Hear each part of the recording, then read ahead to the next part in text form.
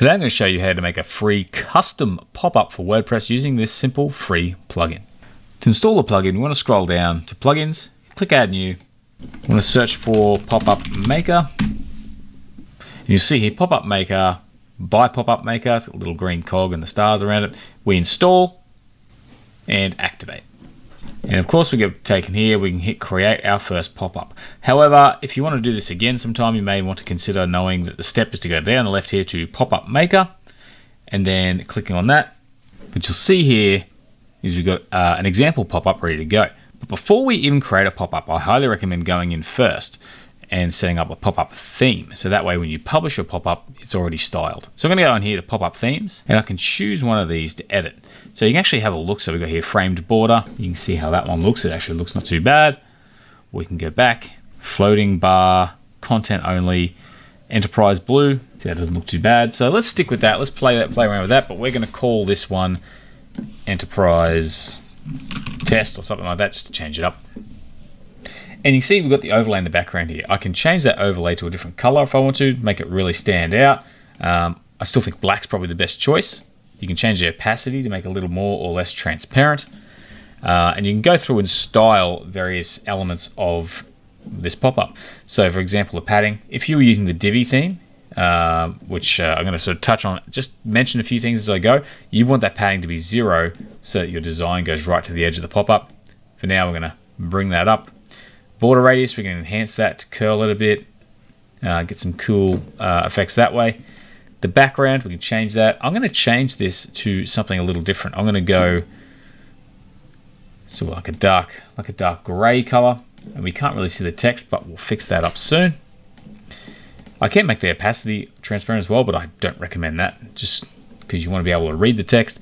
If you want to add background images, you do have to get the pro version, but I'll link to that in the description below. Under border, we can add a solid border if we want to. Thicken that up. You can see there it's black, but let's make it something like green. Something that's going to be really ugly and outstanding that's going to grab attention. Or just a straight yellow. That'll do. And we can still have a drop shadow. We can change how much the drop shadow blurs. We can change the position and of course the opacity so it's stronger. So you've got a few different things here. You can actually have an inset inner shadow if you want to do that as well. I actually think that doesn't look too bad, so I'm going to do that. Bring the blur up a bit, give us a bit of a faded look.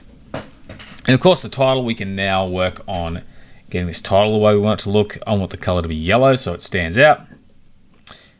With font family, we can choose to just simply use what our font, our, our theme is using, or we can choose something here. Maybe if it has a Google font, we'll choose something like Poppins pump the weight up and we've got a nice thick font there, which is actually what we have with the theme anyway.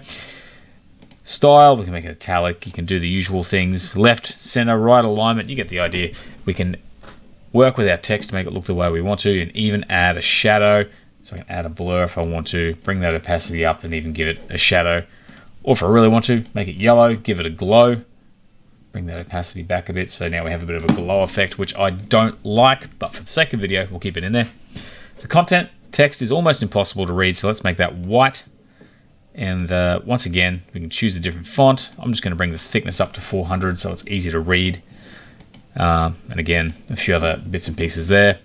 We can also style the close button. So at the moment it's an X, so I can put whatever text I want in here. I can change the location. I can make it bottom right if I want to, do something weird like that. Top right's probably best. I can even move it a little bit if I want to. I can reverse it, move it out a little bit so it's just sitting on the tip right there in the corner. The size, I can make the padding larger, but I don't really want to do it. I want to keep it where it was because it kind of messes with the look of it. So I can change all these other things here. I can make it a square by bringing that border radius back. I want it to be a circle. I'm going to make the background here match up with our border, go yellow, and I can also take the font, make that black, so the font is the X. I can also make that thick as well, so we get a nice thick X. So you sort of get the idea. The border, we can add a border if we want to as well, so solid, white. You can see it's just kind of there, but if I thicken it right up, it appears we get a border. I think it looks better without the border. So if you get down to the bottom here and it gets to 1, just hit minus again. It'll take it to 0. And of course, drop shadow, again, we can adjust our drop shadow, bring that opacity up, bring the blur up, and create like a real drop shadow around that there. And of course, we can add a shadow to the text. And we can really style this up. So this is pretty much the styling of our theme. We've styled every element of the pop-up to the way we want it to look, and it's called Enterprise Test.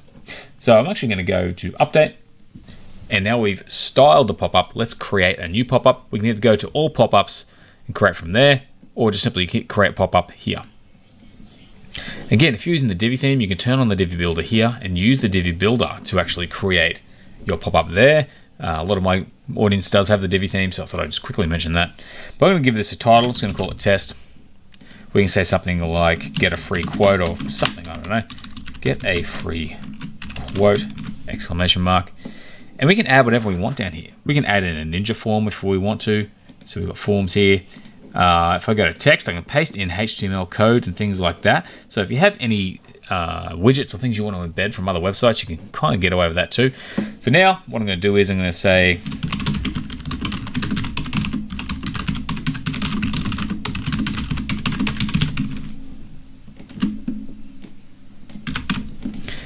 and now we have that there.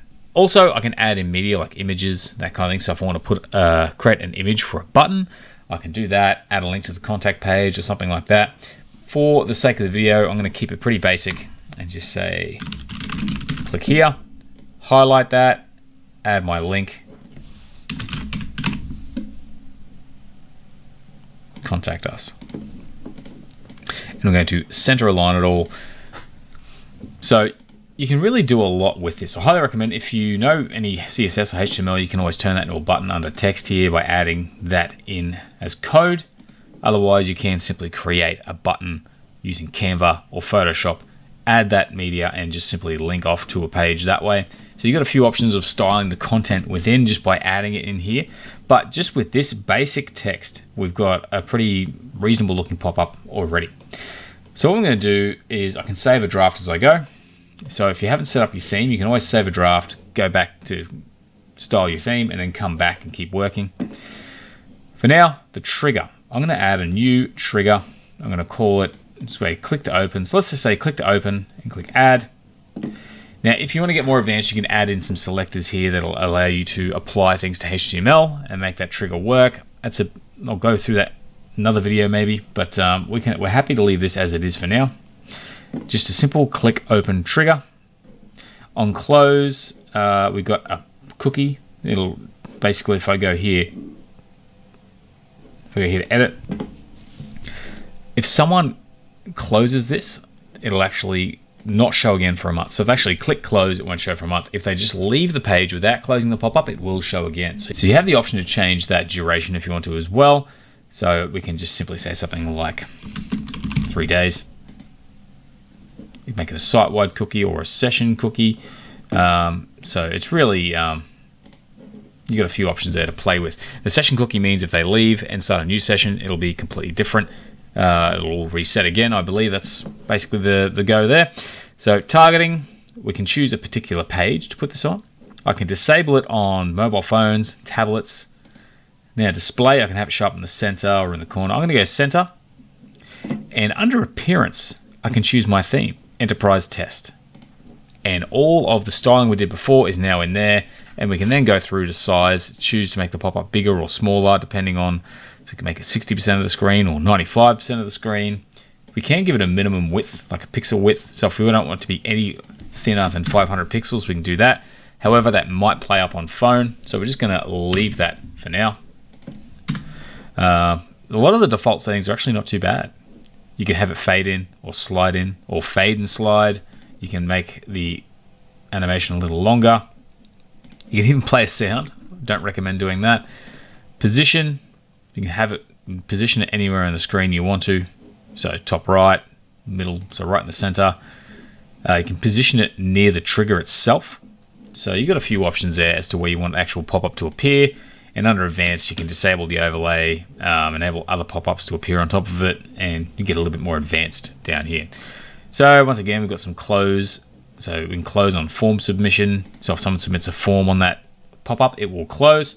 There's alternate methods, so click the overlay to close, click escape to close. You can choose those, put those on as well.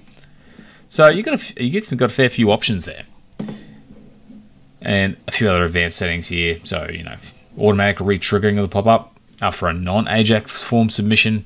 I'm not really quite sure how to go over that with you guys right now, but we've basically got a pop-up set up and ready to go, styled the way we want to, and it's set to click.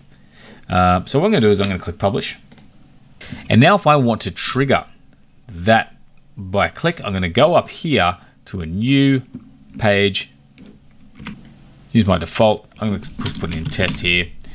And I'm going to say click for pop-up. So just putting some text in here. I highlight this, add a link. I'm just going to say hash. But uh, what's really cool, now I have this over here, there's a pop-up control section on the right. So I can choose a pop-up test, which is uh, the one we just created, and I can now preview this page. And now when I click for pop-up, our pop-up appears. And it's actually left aligned, so I want to go back into my theme and make that center aligned, but you get the idea. I can click here to send them off to the uh, contact page. So the next one is just setting up a simple time trigger. So someone lands on the page, you give them a certain amount of time, and it pops up. So what I'm going to do, quickly tab back, I'm going to create a new pop-up. I'll call this one timed. And I'm just going to say hello and add some information in there nice and easy. And uh, I'm going to go down to my triggers, add a new trigger, and I'm just going to have it time delay. And I'm going to actually just, for the sake of this, we can have it prevent if a new visitor pops along, but I'm actually going to turn that off for the sake of the video. Click add, and where it says delay, we can slide that across. It's at half a second now. We can make it 3000 ms, which will be three seconds, but I'm just going to leave it that for the sake of the video. Click add, and just going to publish this one quickly. So by changing that trigger to time delay, you can change the pop-up. Now, when you edit existing pop-ups, sometimes it can be a bit buggy. I do recommend just starting a whole new pop-up when you do this one. But I'm going to actually go out to the main website. Pop-up is enabled. Uh, also, one thing we should do is go to display, appearance, and choose our enterprise test. Update. I'm going to go back to the home page. And you can see our pop-up has appeared. Like I said, I do recommend starting a new one if you can change that trigger. I don't know why, but I have had some issues otherwise. But that's essentially how anyone in WordPress can build a customized pop-up. You can put forms in there, images, information, anything you want you can basically build in WordPress. And again, if you're using the Divi theme, you can build a Divi layout within that page. So a pretty cool plugin that's totally free. There's also a premium version with some premium features, but uh, the free one is pretty powerful. So that's a video for today. I hope you found it useful. If you did, please consider giving it a like. Otherwise, thanks for watching, and I hope to see you again soon. Have a great day.